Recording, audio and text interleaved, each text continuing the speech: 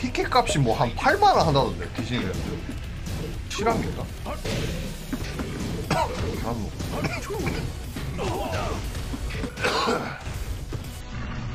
이야! 한거. 다시 가자. 아니 미친 스팀 이걸 개긴다고? 졸라 잘하네.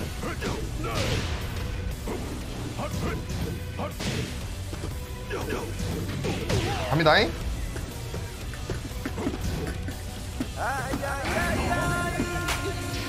오 이겼다 이걸 어떻게 이겼지?